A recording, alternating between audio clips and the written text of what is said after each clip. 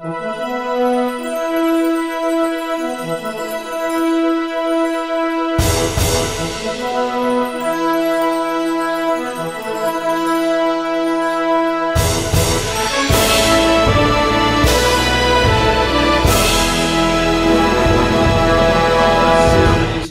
in the House.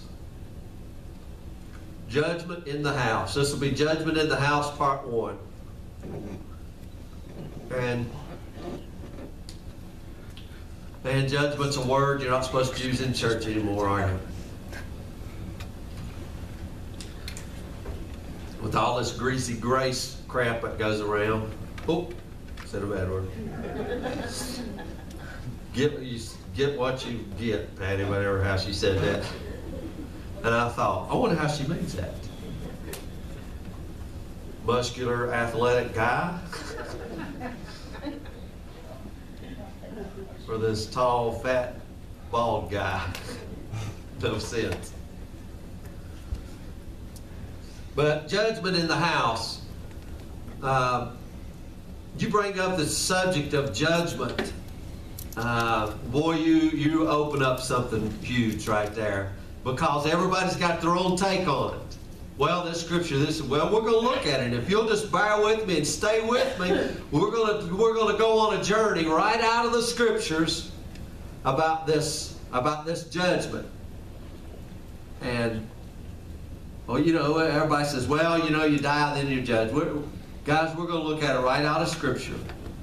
And we're going to we're going to bring this along slow, uh, so that we hope that our concepts and ideas and understandings and idols have to be judged.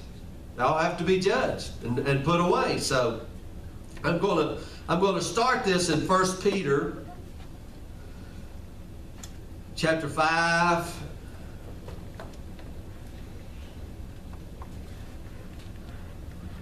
or chapter 4.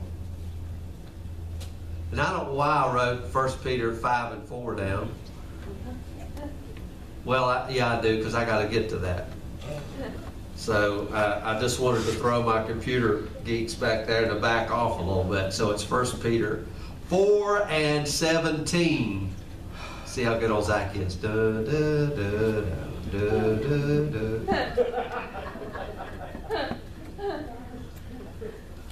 Did you get it? Wow, no. Da, da, da. Oh, yeah. All right. Let me let me read the verse we're, we're going to look. I want to read two verses, verse 17 and verse 18. For the time is come that judgment must begin at the house of God. And if it first begin at us, what shall the end be of them that obey not the gospel of God? And if the righteous scarcely be saved, where shall the ungodly and the sinner appear? Boy, I'm telling you what. I, here's, here's what I find out. Self-righteous, self-righteous people want a judgment. Now listen to what I'm telling you. Because that way they always know they're the ones that's not going to be judged. I can't wait till God judges and them heathen sinner low down. Right? I mean, that's the way it's always. So self-righteousness wants a judgment. Greasy grace wants to do away with the judgment. But here, Peter says this judgment is going to begin with the Christians. I mean, because you can read that in the next verse. If any man suffer as a Christian, let him do not let him not be ashamed, but let him glory.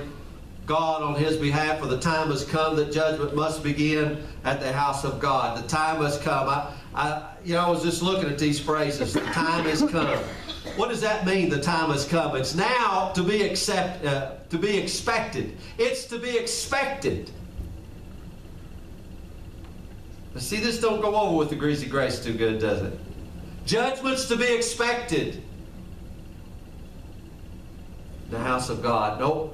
Now, see, because I know, you know, you don't know what to do with this judgment. We don't know where to put this judgment. So what happens is uh, people get lost on this judgment. That's why we got to look at it, guys. Why the Lord has just put it in me so we can bring it out and see when it's going to take place. I mean, Paul or Peter here is saying the time has come, right? The judgment should be expected in the house of God. Now, immediately, what are we doing? He's going to go in and clean the riprap out. He knows Clyde's a low down sinner and he's a liar. He's going to come out here because he wears the wrong color shirt every Sunday. And he's going to judge it and put it out. Right? That's what we think. He's going to come in and thank God he's not going to get me because I told a lie. Cindy, don't look at me like that. She is looking at me like, I know, Yeah, cousin I get what I Judy. get. Yeah. Huh? I get what I get. You, you see? So, here we, here we are with this judgment. It should be expected. It should be expected in the house of God. But what is this judgment? Now, let's just. This word judgment here is, is it's the word uh, krima. That's the Greek word krima. And it means the severe trial. And we were looking at something on Wednesday night. The objective work of God and the subjective work of God. The objective work has already been done. It's, it's the cross. It's already been done. But there's, there's a subjective work that you are subjected to that must be worked in your heart and in your soul. And that's the work we're talking about here. It's the severe trial. It's the working of the cross in our souls separating us separating separating us uh, it's what we're going to separating us from what? See always we always think this is what we always think. If it's going to be a separation it's going to separate me from everybody else. Right? But he's going to do this work in you separating everything that is in you that is not christ so this judgment is going to take place in the house of God. Don't you know you are the house of God, not this building? So he's not going to come into this building and judge. He's coming into you, into your heart. And it's to be expected. The time has come. It's now.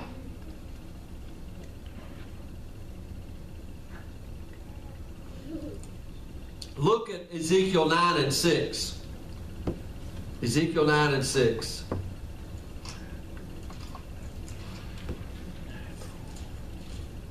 This, this is when, you know, the writer had the inkhorn in his hand and he goes about through the city marking them.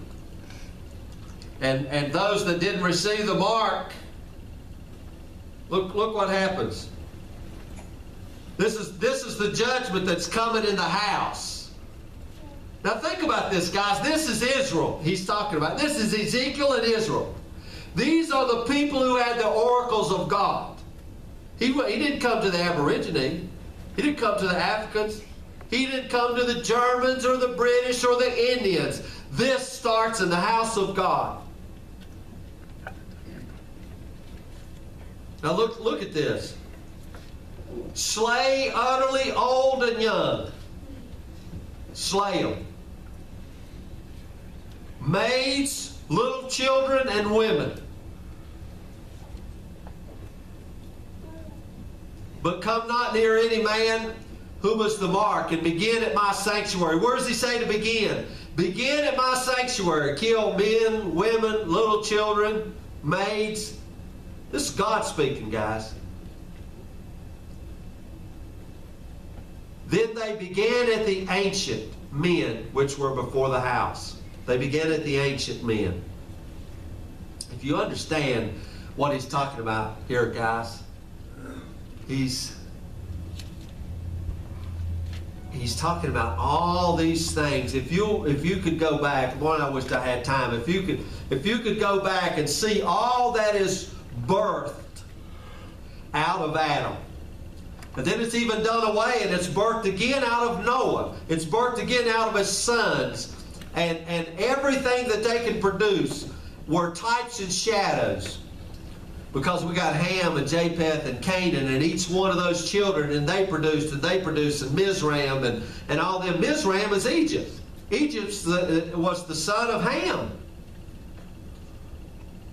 We think God just, every person in this Bible is a descendant from Adam, then they're wiped out, and every person since that time, guys, is a descendant of Noah. Birth and Noah is a type of the church, a type of the Lord Jesus Christ, and this is what the mixture can bring forth.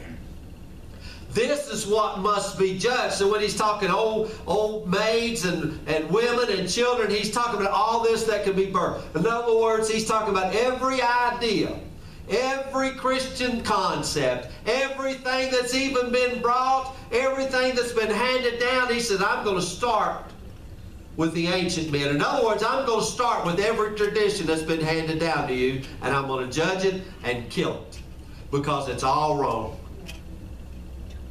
You, do you see? So I don't want you to think God is up there just killing everybody and, and mean and cruel and all these, these things. I want you to see what he's, what he's doing. Now back over here in 1 Peter. This judgment must begin at the house of God. It must begin, at, begin at us. Who is the house? But look what it says. If it first begin at us, what shall the end of them that obey not the gospel? Now, that word that obey not, that's the word for disbelieving or unbelieving. What shall the end of them be? Now, you know, I was just thinking about this verse last night. Just thinking and just thinking and pondering. He says, if it begins at us, what shall the end of them be? Don't, I mean, don't tell me that, well, they're going to grow up. And I mean, that's what, that's what we always do with that because that's where our minds go. What do we do with that? What shall the end of them be that obey not? See, guys, what we're talking about here, and you'll see where all this goes. We're talking about faith. The judgment must begin at the house of God. If it first begin at us, what shall the end of them that obey not the gospel, that obey. This, you know, I told you that word is disbelief, unbelief. You remember Israel didn't enter into the land because of why? Unbelief, no faith. What shall be the end of them that have no faith? Now, see, guys, I want you to understand something here. Keep this scripture in context. They haven't faced 70 AD yet, but now we got to keep it in context, but still yet, it's applicable to us today.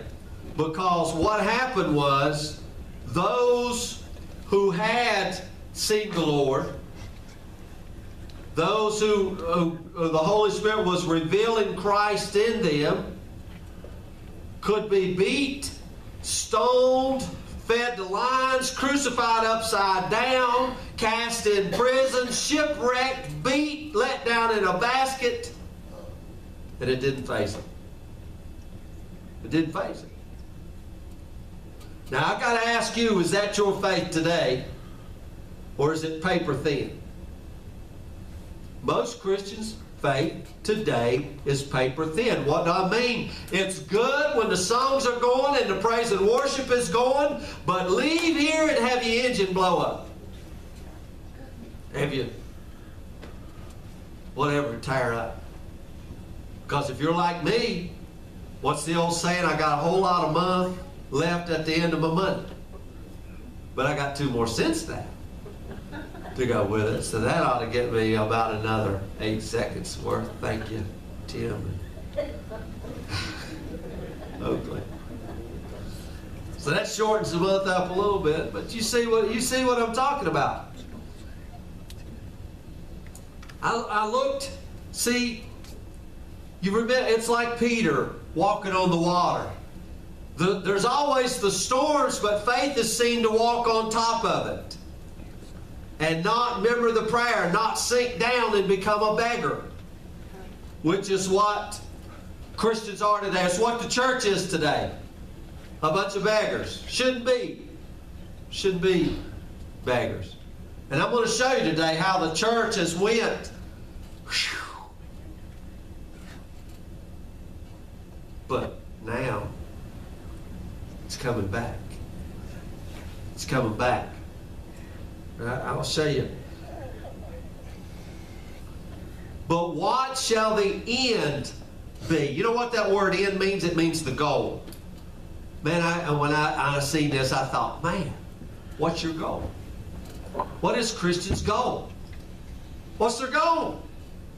Now, now, he's, now we got two different goals here. There has to be a judgment because something's going to be changing. Because what is a Christian's goal?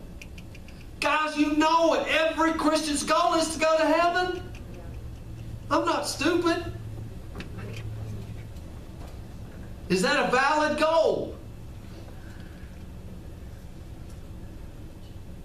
According to Paul, it's an already accomplished goal. It's already accomplished. You've already been translated into the kingdom of his dear son. Uh, you've already been brought to Mount Zion. You've already been raised up to, together and seated with him in heavenly places. So now what? Is this it? That's, see, that's what we'll do. We'll reference. We'll reference what we see with the eye and say, if this is it. Now, now, now, now can you see? What shall their goal be? Because what we're going to find out is there, there's two, two goals here that's going on. And see, there's a goal that we are now, as the church, the body of Christ, coming back to the goal. The end of your faith. The goal of your faith, even the salvation of your soul. Because, guys, we've had the wrong goal in view.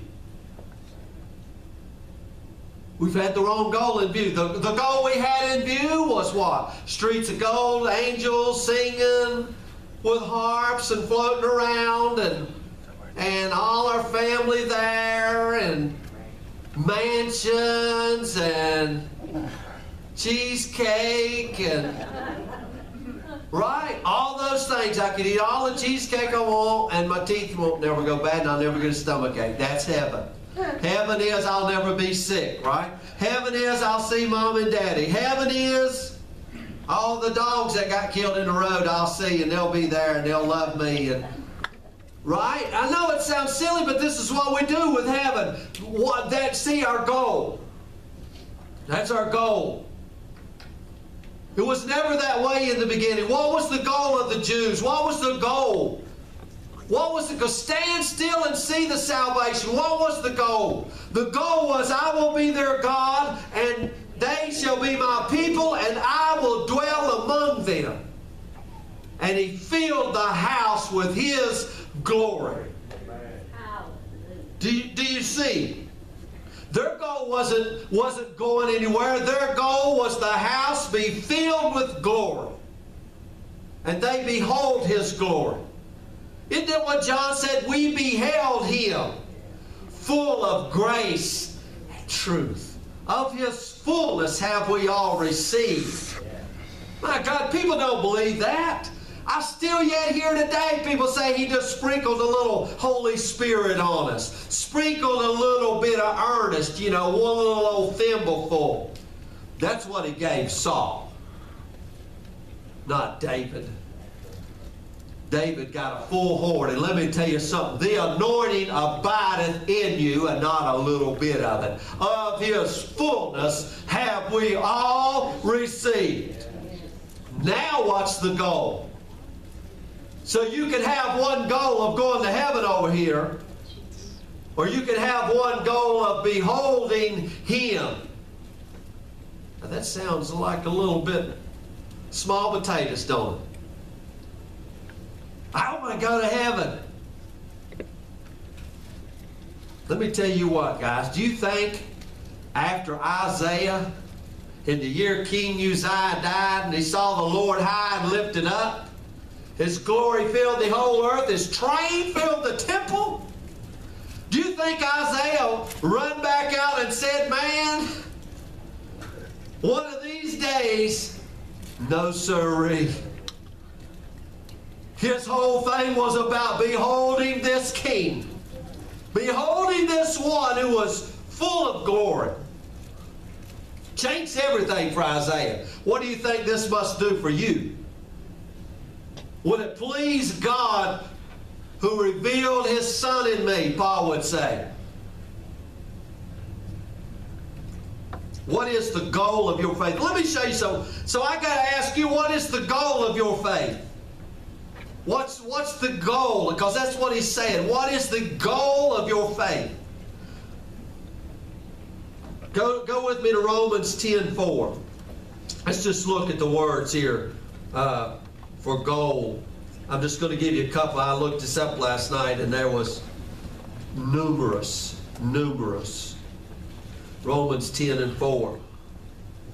I'm just going to read verse 3. For they, being ignorant of God's righteousness, going about to establish their own righteousness, have not submitted themselves into the righteousness of God. For Christ is the end of the law for righteousness to everyone that believeth. Christ is the goal. The word end is goal. Christ is the goal for everyone who believes. Hebrews. Hebrews 3 and 6. But Christ as a son over his own house, whose house are we? if we hold fast the confidence and the rejoicing of the hope or, or the expectation firm unto the end or firm unto the goal. Now, here's one, and I love this in Revelation 21 6. And he said unto me, It is done. I am Alpha and Omega, the beginning and the end. I will give unto him that is athirst of the fountain of the water of life freely. Let me read that again. He said unto me, It is done. I am the Alpha and Omega, the beginning and the goal. Jesus is saying, guys, I'm the goal. You would rather go walk on streets of gold than have me. That's where the church one is. You would rather have healing than me. I, see, these are things that you would rather have all of these things than me. See, I know this. A judgment came to me down at Prater Creek Church, sitting there in the stand when the Lord said, You're just following me for the loaves and the fishes. I would have rather had the loaves and the fishes than him at that particular time. Why? Because I had never seen him. He was just a man from Galilee, a Nazareth guy that his picture was on the wall. And he had a purple robe on and a long beard. And then I've seen movies about him and he walked around and he was intimidated. I never saw him in his glory, Clyde. That image had to be judged and took away. And then when I began to see him in his glory, my Lord and my God, you can have all the fish and the baskets full of everything else you want. I'm just like old Mary. I'm just there at his feet. Yeah. Just to touch the hem of his garment. You see what I mean? Just to touch the hem of his garment. We have no idea. People have no idea about glory because they've never seen glory. When you begin to see this glory, there's a mighty judgment that comes in and begins to take place in your heart. Beholding Him, that's our goal. Experiencing Him. He's made unto us all that He is. See, grace is God offering Him to us to partake of. Faith is the, is the access. You know that from Romans uh, 5 and 2. By faith we access the grace wherein we stand. Do you hear that? You already stand in grace. You already stand in grace. Oh, Lord, help us. We, we, we dumb grace down so little. God, give me the grace to make it through the day. My God, He brought you in. Stand that. God help me to get through this circumstance. He done lifted you high. Seated with him, brought you plumb up out of that. Well, see, you can look at that circumstance and you can say, well, but, but, but preacher, this is still going on over here. And if the righteous scarcely be saved, where shall the ungodly and the sinner appear? In other words, yeah, the storm is still going on, the storm is still going on, is it not? And He's already given you the power to walk on the storm, or you can sink up in it. Where's your eyes going to be? Because when Peter's eyes was on Jesus, he walked on it. Wasn't no problem. When his eyes was on the storm, that's why he says the righteous scarcely be saved. In other words, their, their salvation is already objectively done. But how many Christians today are walking in and enjoying their salvation? Resting in it. I guarantee you about one out of eight million. Because every Christian I know wants out of here. If you was resting in it, you would want out of it. I love what the Lord brought JW to, to his trial in India.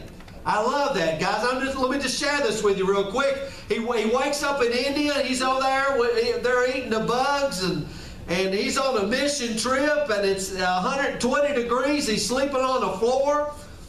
You know, they got cobras and everything else over there, and he said, Lord, what in the world have you got me here for? Get me out of this place. He begged the Lord for days on end, and finally the Lord spoke to him and said this, Where are you? And you know, immediately you begin to go back and say, Well, Lord, what do you mean where I'm at? You know where I'm at. And the Lord asked him again, I said, Where are you? And he realized then, I'm in Christ. My Lord and my God. Then the Lord asked him, Do you want out? No. No. Do you see? That's what you must come to. That is, this is judgment that must begin in the house of God. Hmm. You see, there's, there's great obstructions. There's great difficulty. There's much risk. Because we always reject Him. What do you mean we reject Him? People, Christians say, I don't reject Jesus. Every time you take your eyes off of Him. You rejected him. Now that this this takes place in our hearts, guys. Let me go on and read 1 Peter here 5. The elders which are among you I, I exhort, who also am an elder, a witness of the sufferings of Christ, and a partaker of the glory that shall be revealed. In verse 4. And when the chief shepherd shall appear, Ye shall receive a crown of glory that fadeth not away. Look at look at verse uh, back up in verse 18 there. If the righteous scarcely be saved, where shall the ungodly and the sinner appear? So we're talking about it appearing, right? And didn't, didn't he say, when he shall appear, you'll receive a crown of glory? Paul would say it this way You are dead, and your life is hid with Christ in God. When Christ, who is our life, shall appear, we shall appear also with him in glory. John would say the same thing in 1 John 3.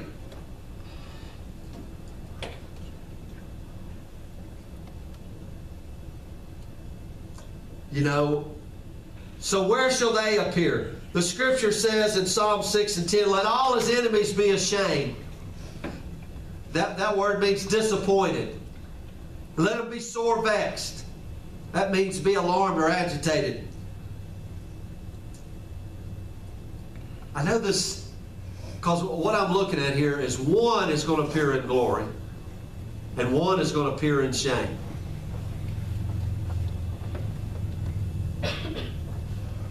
Well, I was just looking at this this this word shame. The word shame, you know, Paul said, I'm not ashamed of the glory. See, it never caught me until last night. Paul wasn't ashamed of the glory. And see, I've always used this in the term of arrogance. Well, ain't ashamed of the glory. I'm going to, because we used to say this when that Holy Spirit comes, I can preach us on the White House steps. Paul said, I'm not ashamed. You think Paul was arrogant? No. We, we, you see what we do with not being ashamed? We'll take not being ashamed and take it right into arrogance.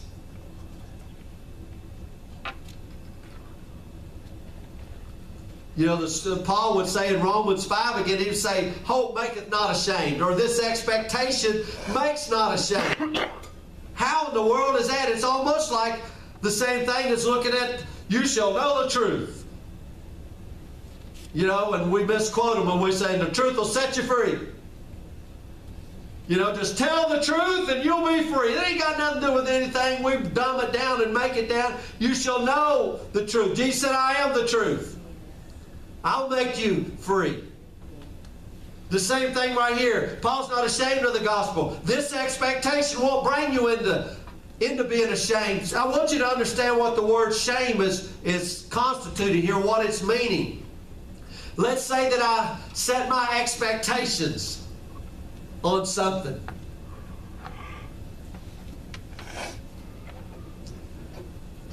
Well, let, let, me, let me say this. Let me just break it down to you a little bit. I don't know if this ever happened to you before. Have you ever wanted something real, real bad for Christmas? Really, really, really, really bad. If I would just get this, this would be the best Christmas ever. I would never ask for nothing else again. Am I the only one that's ever said that? Or are y'all lying? if I could just get this, God, I would never ask again. And have you ever just assumed that maybe that present there that's under the tree is that very gift? And you're just thinking, man, why should we wait till Christmas to open a stinking thing? Let's just get it right now. Let's just go ahead and open it. And then there's that moment of expectation, and there's the opening of the gift, and it is not what you wanted. So now you must put on the face of thank you very much. Right? Has this ever happened?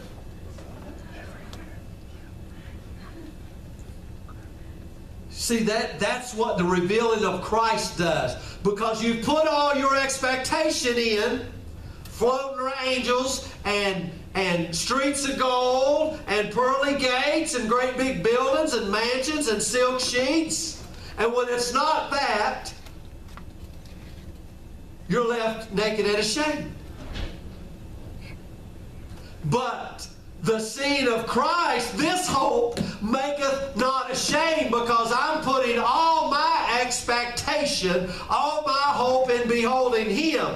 And Paul says, and you'll never be let down because you will never You'll never see something and think, my Lord and my God, I thought it would be better than this. He's saying, oh no, no. You put your expectation right here. When you see Him, you'll go, good God Almighty, I can't even take it. It's so great. I know this is of a fact, Clyde. I've told God, God, this is too much. Let me rest. I can't breathe. This glory is so awesome. I've had to crawl out from under it. I could just see the Lord laughing and saying, You wanted some glory? I didn't even give you a thimble for it. You can't even take it. You're on the floor crawling around like a worm saying, Lord, remove it. I can't take it. I can't take it. And you have received the fullness of Him and you think you can just bust up in there and walk in it? Come on.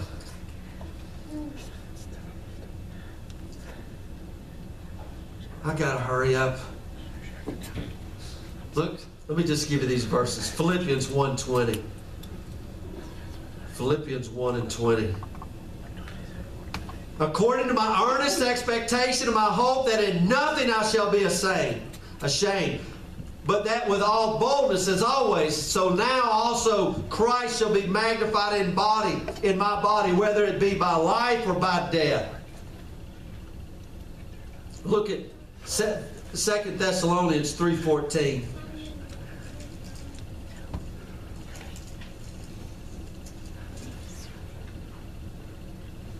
And if any man obey not our word by this epistle, note that man have no company with him that he may be ashamed. 2 Timothy 1 and 12. 2 Timothy 1 and 12. For the which cause I also suffer these things. Nevertheless, I am not ashamed. For I know whom I have believed, or who, whom I have seen. I am persuaded that he is able to keep that which I have committed unto him against that day. Why is Paul not ashamed? Why does he say, I'm not ashamed? Why? Because Paul says, I'm not the one living here. I'm not the one living here. Christ liveth in me. Adam became what? Ashamed. That's all he could produce was shame.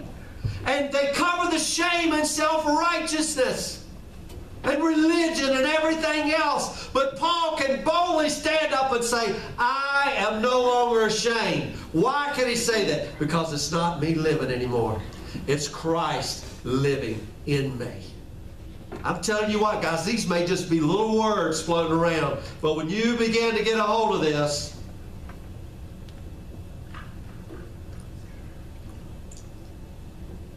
listen, we're we're going to be dealing along this line of, of the appearing of Christ in judgment. Where he appears in this coming is in his house, in his own house, in his own temple. In other words, he appears in you and I.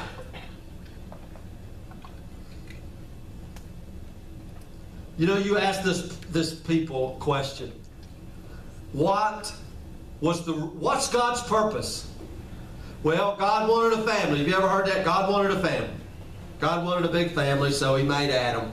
And now he's looking at Adam, and Adam is great. And then all of a sudden, holy moly, Adam messes up. Oh, now what are we going to do? Jesus, you go down there and see if you can save him. And, whoo, man, Jesus, you did it. I'm glad because do you think that was God's plan? And then all of a sudden it got messed up, and then Jesus had to go do a plan B and a supplemental. That's what we do. We call them amendments, don't we? We write a constitution, and then we spend the next 400 years writing amendments to it. There was no amendments to this. God saw the end from the beginning. He saw his son because his son was ever before his face.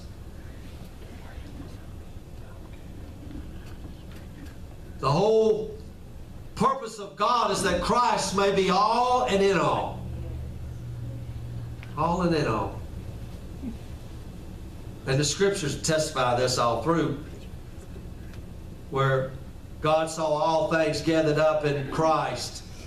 And those things that he saw gathered up in him, he called it the new man, the new creation. He referred to as the house of God or the temple of God. Now listen to this. What the Father saw, the Son came to perform. See, man, after the first creation, he fell. This is important. So the Son of Man came and he took on the fullness of that first man. He took on everything that first man was. And he took that first man and everything he was, and what was the end result? He took him to the cross. You see, guys,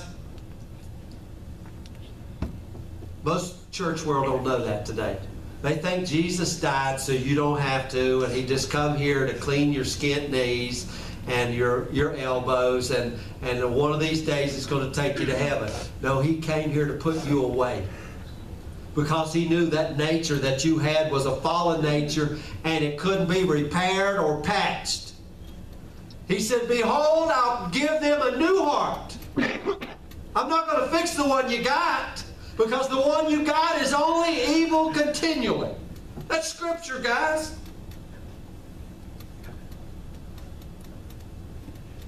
He took that man to the cross and crucified him, and he came forth in resurrection and established himself as eternal life. And we coming forth by him through his life as he raised us up together, seated together in heavenly places. So what God saw from the beginning, His Son has performed, and what His Son has performed, the Holy Spirit is here to reveal. Now I know those are just words going through. I, I see your minds thinking, listen, what His Son has performed already. Nothing else to perform, Clyde. Nothing else to do. Already brought us into heaven. Already brought us to Mount Zion. Already brought us into the kingdom. Now, one thing left for the Spirit to reveal it.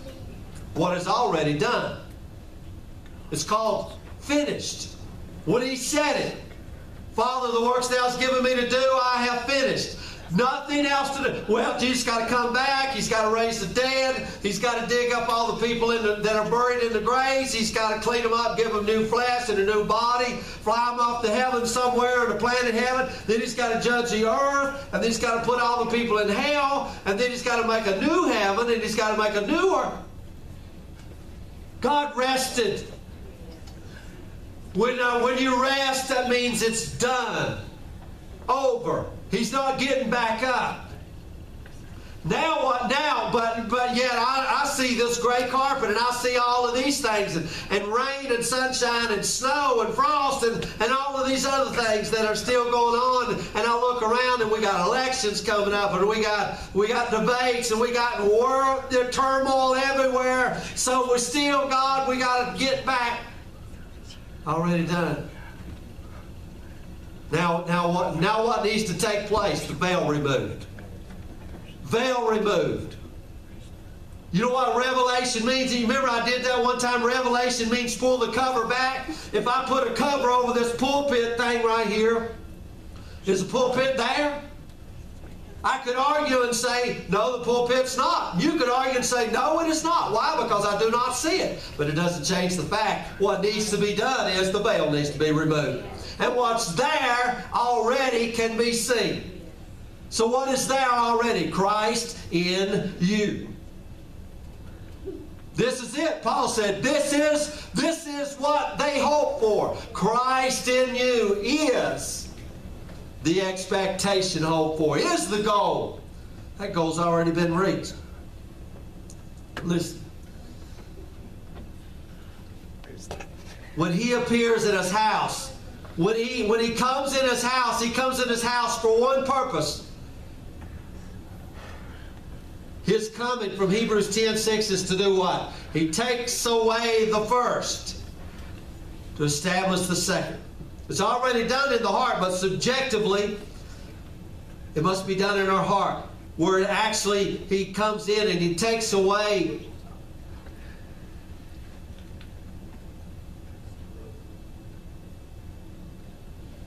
takes away that that's already been taken away. You know, Ephesians 4 would say, putting off the old man, putting on the new man. People don't get that. Put off the old man, put on the new man, renewed in the knowledge of him. Put it off. We don't have no idea, God, that there even is an old man because we're sitting there with me, me, me. God help me and fix me up. And He says, put that man off. Why are you still concerned with that man? Let me tell you how, uh, how Paul was concerned with that man. They said, Paul, you go up to Jerusalem, they're going to kill you. He said, What's that to me? You think I'm concerned with that? I'm already crucified.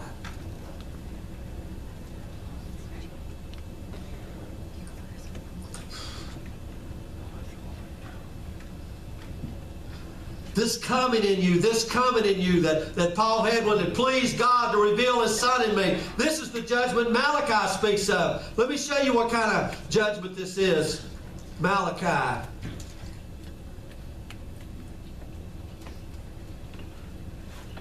Verse 2, chapter 3, verse 2. Who may abide the day of his coming or the day of his appearing? Who shall stand when he appears? Who's going to stand when he appears? He's like a refiner's fire, full of soap. He shall set as a refiner and purifier of silver. He shall purify the sons of Levi and purge them as gold and silver, that they may offer unto the Lord an offering in righteousness. Do you know the word back over here in Galatians when it pleased God to reveal his son in me? Let me, let me show you that word here in Galatians. Me from my mother's womb, called me by his grace to reveal his son in me. That word reveal, you can look this up. You know what it means? Apocalypse. What's Paul telling you right here? An apocalypse occurred in my soul. Isn't that what we call the end of time, the apocalypse? Guess what happened? It was the end of time for Paul. It was the end. It, it was severe. It was a crime. It was a great judgment that separated him from everything. We just think, well, Paul was born. God wanted him to be a preacher. So God saw him in his mother's womb and said, Paul, I'm going to make you a preacher. No. The mother he was separated from was Judaism. It was everything of the first creation. And it came in and wove and severed everything that, that was Paul was done away. Paul was a Pharisee. He was a Hebrew. He was in self-righteousness. He was in all of that. And this and, a, and an apocalypse took place in him. And I'm telling you guys, you're sitting there looking at me like I don't know what I'm talking about. But when this glory appears in your heart, uh, an apocalypse will take place in you. You know, I was talking to Patty the other day, and, and she said the Lord woke her up, speaking to her. And I said, How was the word? She said, profound. It's the only word she could come up with. You know, these things the Lord deals with us. We got to share them in the church, Patty. The Lord told her, said, Patty, you've been looking for the end, but I want to reveal the beginning. Let me tell you what just took place right there. An apocalypse is on the horizon. A great severing is taking place. This began at me first, guys. It'll begin with you if you'll let it. If you'll let it. If you'll submit. We read back over in Romans, haven't submitted themselves unto the righteousness of God haven't submitted themselves unto the righteousness of God. A great apocalypse, this judgment. He said, what did we start out? The time has come. It's ready that this judgment must begin in the house of God. It must begin at you. You know, why, guys? Why? Aren't you sick and tired of a useless church? What do you mean a useless church? That's all the church has done is useless. The church has created more self-righteous hypocrites than hell's angels ever thought about doing. You know it and I know it because I was one of them. I ain't pointing my finger at nobody. I can remember sitting down there in the tool house. One of my friends, I was telling him about how great the primitive Baptists are. How God hid it from him and showed me. And he just kind of looked at me one day. And, you know, he just said, You know, I love the Lord too. Great judgment came in my heart that day. Great judgment came in my heart. I walked around in that stinking arrogance, and now it's it's quail in my mouth, Clyde. It's quail up in my nose. It's come out of my nose and mouth, and I'm sick of it. And I see it, and I can smell that self righteousness kills me. My prayer is for judgment, that judgment would come into the house of God. And I told you I was giving you this, these lessons on prayer. You think they're sermonettes. No, the Lord was dealing with me. And the whole time, and I began to pray a prayer, and by golly, God answered the prayer, waking Patty up in the morning. I didn't even have words to say to a prayer. All I was doing was groaning and uttering, knowing something needed to take place. And it took place. When I hear those words like that, when, uh, when, and I say, how was it? Profound. What a word, profound. Because those words, Clyde, when he speaks them words to you, Everything has changed from that moment on. An apocalypse has took place with it. Please God to separate me from my mother's womb and to do what? And reveal his son in me that I might preach him. I immediately obeyed. Do you think Paul had a choice? And Paul was this guy and he obeyed. He didn't have no other options. Everything else was separated, judged, and put away. It'd be like you sitting there and somebody saying, you know, the only thing left in the world eat's a peanut butter sandwich. What are you going to eat? Immediately I ate the peanut butter sandwich. He must really like peanut butter. And there wasn't nothing else. There wasn't nothing else. What must the end be for them? Where shall they appear when they have this goal? Let me tell you, they appeared the same place Paul did. Well, let me say, the same place Saul did. And he did. He did. He didn't appear there. We're waiting on Jim to appear and Patty to appear, George to appear. He don't appear there. Only one appears here. Only one appears here. And that's him. That's him and his glory. Mm. What's he do? He takes away the first, he established the second. But I want to tell you something here. The first is, I mean, what did he take away? What did Jesus take away? He took away the first man, didn't he? He took away the first man. He nailed that man to the cross. So what then? Well, well, let me say it this way. What he took away was more than just the first man because the scripture says he taketh away the first. He didn't say it takes away the first man. He takes away the first, everything that has that name first. That he may establish the new man. Let me hurry. He takes away the first, he establishes the, the second. When Christ begins to be revealed in this house, everything of the first is taken away. Everything of the first is destroyed. You go read Genesis 7 23 and you'll see that everything that moved upon the face of the earth, everything that had breath was destroyed. And only Noah remained.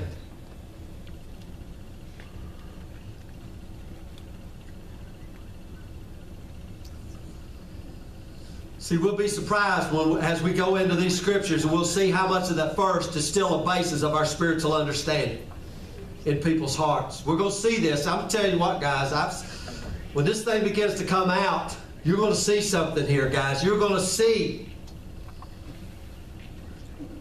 what Christ does in disappearing, He takes away.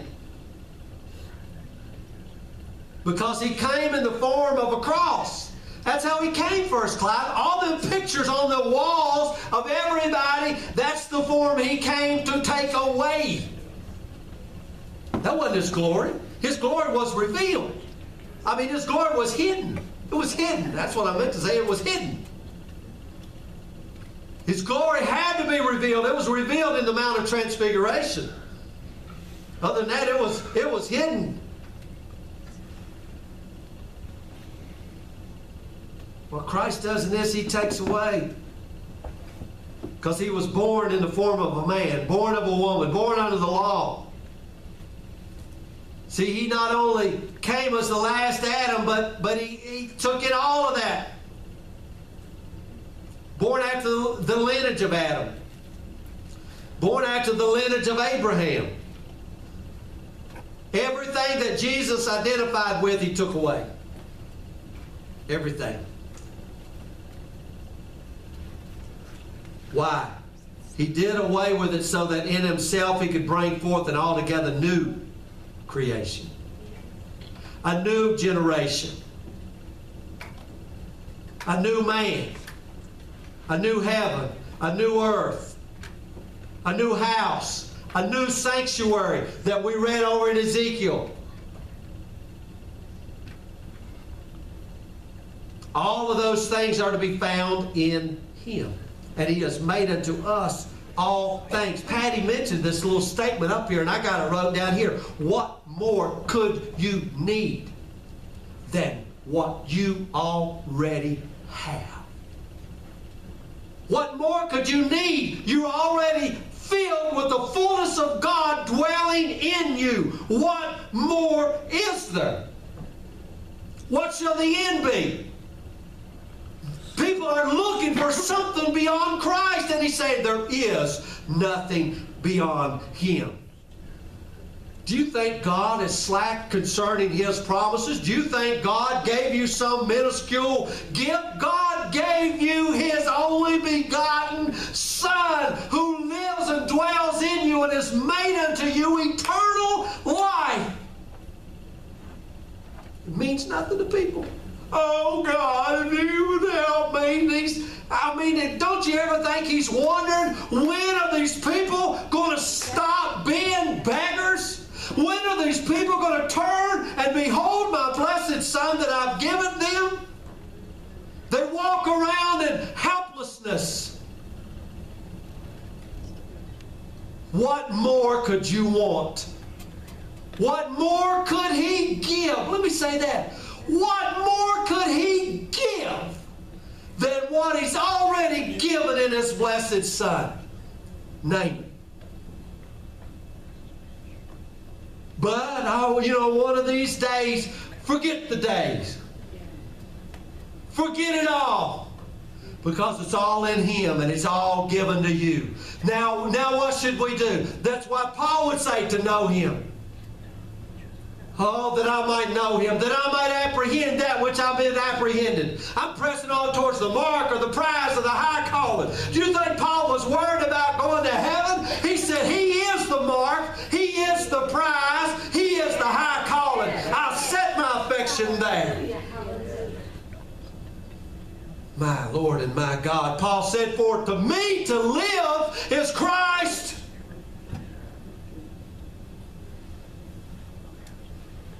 For me to live is Christ. What do Christians say? Well, for me, life is uh, doing the best I can, being a good Christian, acting like Jesus, and what would Jesus do? Paul says, For to me to live is Christ. It's Christ. It's Christ.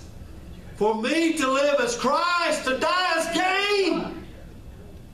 Well, Lord and my God, if you can just get a hold of this glory, that's why Paul would jump up in the Galatian church and say, Who has bewitched you? Ask the church, Who's bewitched you? You think that you've begun in the Spirit? Are you now made perfect with your works and your flesh and your observances and your holy days and your feasts and, and your everything that you do? Good gosh almighty. Come on, church. No. Let me just, I got Let me bring us to an end. Listen, guys, all those things took place under, under Paul's ministry.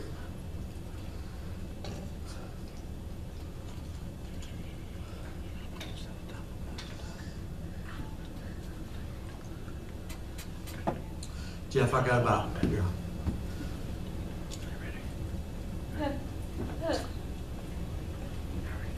What we're going to see here, guys, is, is a threefold judgment that comes in the life of every believer when, when Christ is revealed. It's the revelation of Jesus Christ. It's nothing more, it's nothing less. Just the final, complete, ultimate work of the Holy Spirit. You know, uh, about, about in the 1500s, there was this guy named Martin Luther. Guys ever heard of Martin Luther? But in those days, there was only one doctrine, if you will, one religion that was Catholics. Well, Martin Luther's the one who wrote his 99 Theses put on the door, but anyway, Martin Luther had the revelation of salvation by grace through faith. That sounds so common, doesn't it? I mean, that's in the Bible salvation by grace through faith. Martin Luther was kicked out of the church. He was disowned. He was banned. He was put away. But I want you to think, guys, this is in the 1500s. This came up 1,500 years after Christ. In the first hundred years, they had it. They fell away. So we're talking 1,400 years they lived in what we call in our history books the Dark Ages till, till God brought a revelation. He brought a revelation. Salvation by grace through faith. What happened? A great separation took place, did it not? Martin Luther is what? Kicked out. Then, guys, let's, let's come up 400 years later. Let's bring it up to the 19th century. What happened? You guys know. You were a part of it. This great movement came again. A movement of God came in, speaking in tongues, the Holy Ghost on fire, the Holy Ghost, all these, uh, we call it what? The charismatic movement. And when it first started, what happened? Those people weren't popular. You You take a you take a Pentecostal, put them in a Baptist church, it's like oil and water. Still yet to this day. So this started out in the Baptist church because in 1900 there wasn't no Pentecostal denomination. They wasn't. There was there was two denominations. Well, there's about three denominations in the world. They were Presbyterian, Methodist, Catholic, and Baptist. That's all they were, Clyde. And out of them was birthed something else. Pentecostals.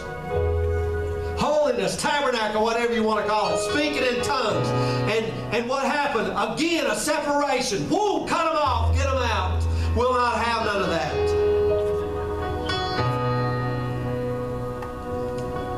Listen to what I'm telling you.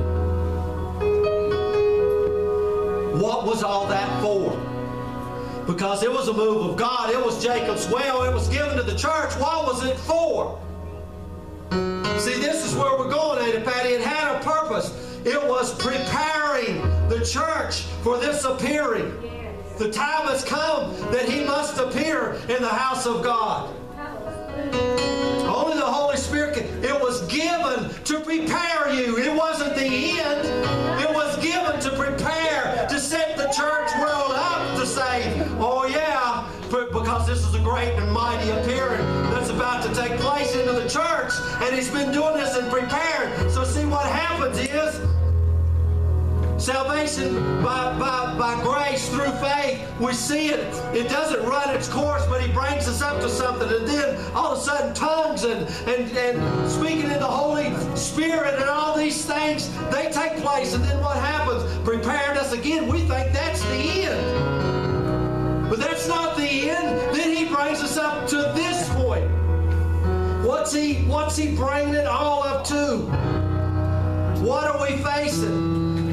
Facing a tremendous revealing of God's Son. And in the first revealing, there's going to be a judgment.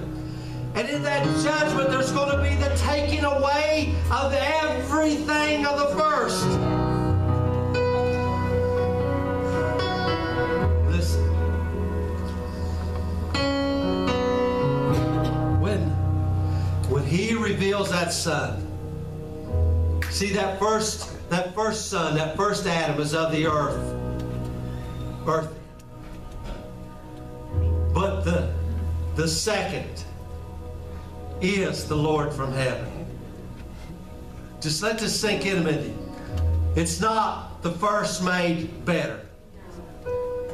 It's not Adam remade. The second is the Lord from heaven, whose body you are, whose temple you are. You're, he didn't come here. See, the first is earthly. The first is, we're not the body of a religion. We're not the body of a denomination. This is how people ask, where do you go to church? You can't give them the right answer because it's the wrong question. We're not the body of a religion. We're not the body of a denomination.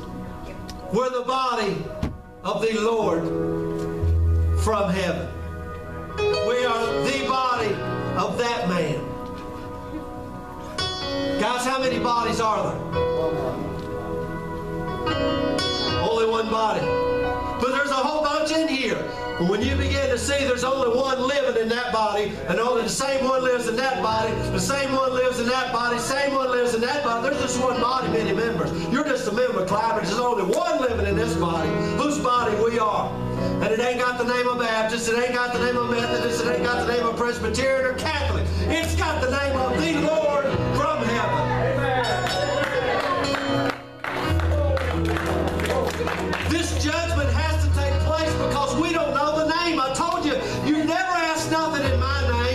he said, from now on, you'll ask in my name. They don't ask because they don't know the name because judgment ain't came in the house. When judgment